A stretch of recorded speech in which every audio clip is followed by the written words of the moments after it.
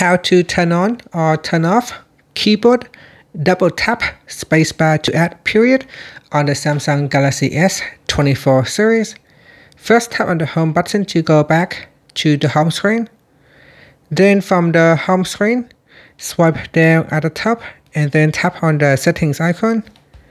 Now in the settings page, we then scroll down and tap on general management.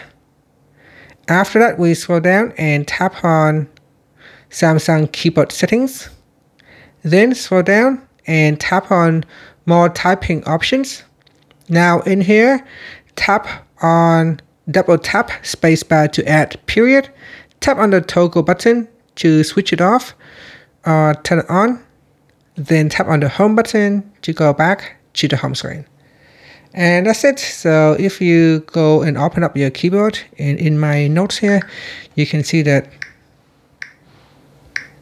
if I double tap on the spacebar, I can automatically insert a period with a space. And that is how you can turn on or turn off the double tap spacebar to add period uh, option.